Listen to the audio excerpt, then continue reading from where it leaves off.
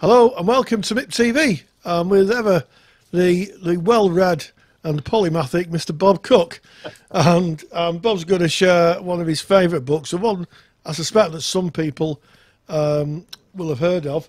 It's by Muriel James, and it's called Born to Win. So, what's this book about, Bob? Well, it's written by two elders of the transaction analysis movement. Um, Born to Win by Muriel James and Dorothy Jongeward, and uh, as I was saying to you off air, it was one of the first real TA books that I wrote, and uh, sorry, not wrote, read. Which I had wrote it, but anyway, which I read. Uh, uh, and what I liked it particularly is it's very easy to read. It's a paperback, for example, and it's very easy to read. And what particularly makes it stands out is the mix of Gestalt techniques that are explained in this book. Um, so two reasons I like it. One is very accessible. Secondly, which is my favorite reason for liking it, is mixes Gestalt techniques with transaction analysis concepts. So for example, um, many people would think that the uh, two-chair technique uh, comes from Gestalt psychotherapy, which it does in some ways, though we could link it back to Moreno, uh, who was the originator of you know drama therapy. But uh, in this book, um, Dorothy Jongeward, who's the Gestaltist eh, per se, even though she knows TA, um, talks about how to use the two chair technique and talks about Gestalt experiments to use to help the um, person or the reader um, develop their own inner child, to get in touch with their early history, and to um, really talk about establishing that compass- compassionate narrative in search of the child ego state. Yeah. From a Gestalt perspective. It sounds, it sounds like there's some integration going on here, Bob. Yeah, way back because it was written in 1970, middle, middle of 1970s. So it's an early book. So before the um, real search or movement towards integration in psychotherapy, um, I think the Gestalt experiments in the book were all aimed or focused on getting to the inner child mm. or the child ego state in TA terms. Yeah. Um, it's called Born to Win. What what's the um, significance of the title? Ah, comes from the idea of scripts. Going back to scripts again, and we've done many videos, yeah, and in many of them we talked about the concept of scripts. You know, Eric Berne's marvelous book, uh, What You Say After Say Hello, which is his first book on scripts, and the idea of a script that we design a life plan early in history, which becomes the template for our um, our life in many ways. But Eric Berne talked about winners' scripts and losers' scripts.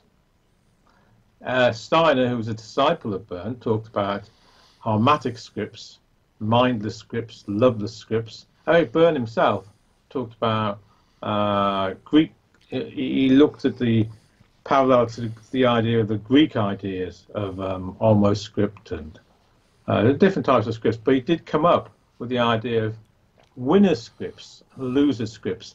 And I think the title is that we are born from the beginning as a, you know, a blank blank screen, if you mm. like, or an early sponge, and that with the right fertile ground, we can develop a script for success. Right. So it's interesting. There's, there's, there's some a little bit of behaviourism in there for the blank slate, the tabula rasa. Yeah. As uh, as as the behaviourists um, are fond to, to call it. yeah. Um, then yeah, there's there's it's interesting, isn't it? How these all these ideas kind of seem to come from the same roots. They just came. Just, the, the tree just is very broad, isn't it? Basically. Yeah. In the humanistic tradition, of course, you know, um, we, we, we certainly Berne believed that we were born okay. You know that whole. Yeah, yeah. I'm okay. You're. you're yeah. okay. Uh, and he believed that it was the uh, environment around or the significant others that turned people into frogs or the kids into frogs. Yeah, yeah.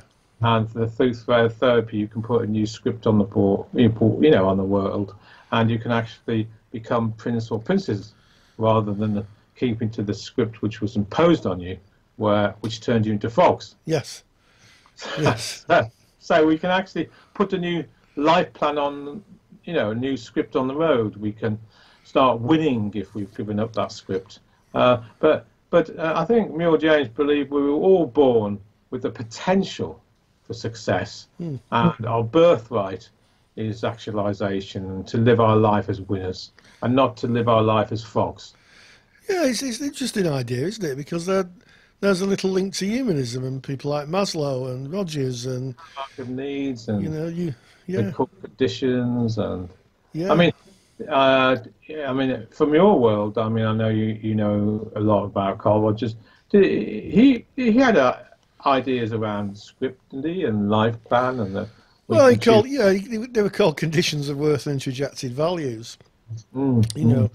But but one of the interesting things was around the same time, and it's around the same time Berne was around, and all these people was um, the human potential movement, which uh, I think one of the people was Aldous Huxley, who wrote Brave New Oh. World and Doors of Perception, Yeah. and and this this kind of um, idea that humans had potential, which kind of links into the book, isn't it? Born to Win.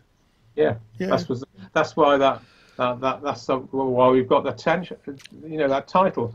And I'm a great believer in this. I mean, as a therapist, really from the beginning, I'm always looking for the potential for growth, the hmm. potential for winning, the potential for success, the potential for taking ownership of your own destiny. Hmm.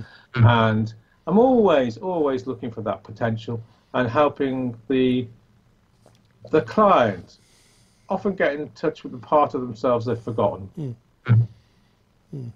Yeah, it's a, My Just- remit. To shine a light into the other areas that maybe the the hidden areas that maybe they've they're not aware of to open that up open the Yeah. other rooms of the house up Yeah, so they can become the winners they were born to be. yeah yeah it sounds like a fascinating book it's a book i've heard of born to win it comes up quite a lot um, when when i look through um, or i'm searching for, for psychotherapy books um, Yeah. and in terms of in terms of students you know Yeah, yeah. why yeah, would you why would you think it would be important for a student maybe to visit this particular text one of the reasons why I wanted to bring this into this this video really is that when I look back at my career and how many of the introduction to TA courses I've done or the 101 courses I've done, which is the basic introduction, and I ask people, uh, these are people who, who are interested in transaction analysis, interested in psychotherapy for the first time, and come on on this two-day workshop at the Manchester Institute.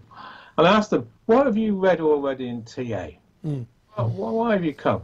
And you know, Roy, this particular book's title comes up over and over and over again.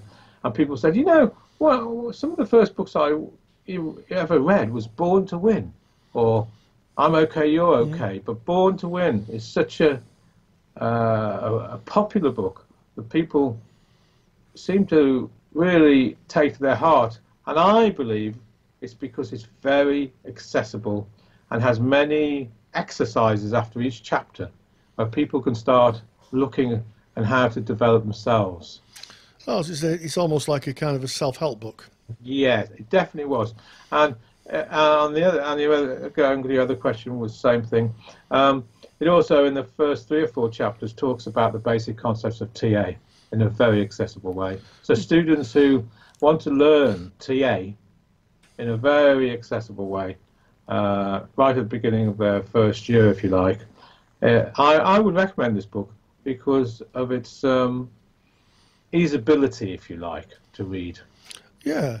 So a, a very easy book for new students of the of the discipline, Pe- people who are just reading round maybe in the first the first semester of the training. Yeah. So yeah, so an accessible book, and one that's really readily available, isn't it? So the book we reviewed today is Born to Win by Muriel James. We're going to put our link um, in the bottom in the title bar so people can click on it and um, you can inspect it. As always, Bob doesn't do this for money. He's not being sponsored by the book company. Just does it to share his love of literature. And at the end of the video, we'll just put a little title window in with a picture of it so you can identify it. So as always, Bob Cooke, thank you very much. Thank you, Rory.